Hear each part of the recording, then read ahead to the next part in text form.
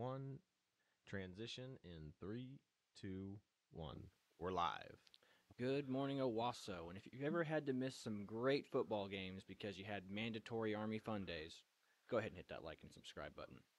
The time is currently 9:42 a.m. It is 69 degrees out with a high of 85 today.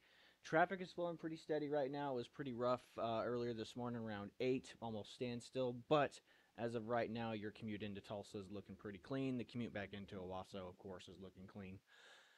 Now, as far as events going this week and today, we got free classes at the public library. They just have a multitude of classes you can go down there and take for free. Go so go down there and uh, take some classes and get some education.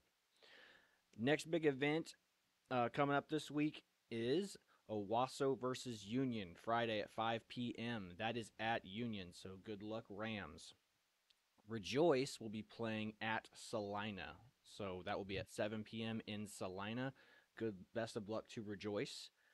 And then Saturday as well, we're gonna have. Uh, so after that, you'll have Saturday the farmers, the Red Bud Farmers Market, as always, from nine to one.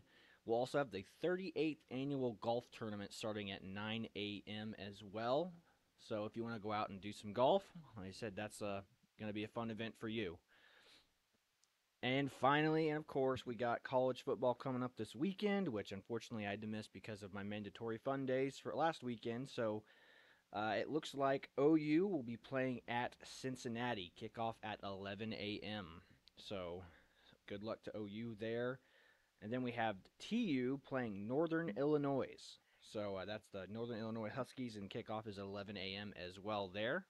And finally, you'll have OSU playing Iowa State at 3 p.m. Uh, never sleep on Iowa State. They're always a dark horse in this uh, Big 12 Conference. conference. So, like I said, best of luck to OSU. Please beat the heck out of Iowa State.